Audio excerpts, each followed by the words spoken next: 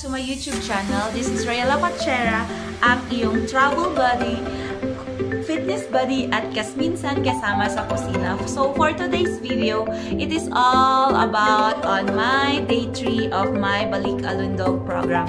So um, come on join me to do my day 3 of my Balindog Balindog Balik Alundog program. So ang ginawa ko is dinis-arrange ko yung routine na ginagawa ko para hindi siya maging uh, boring or routinal para sa akin. So, come on!